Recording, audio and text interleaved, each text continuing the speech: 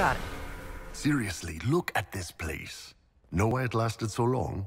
Siege mentality. It may be above ground, but the old dwarves built this city like a mountain might fall on it. When did you study architecture? You learn a few things about walls after knocking enough of them down.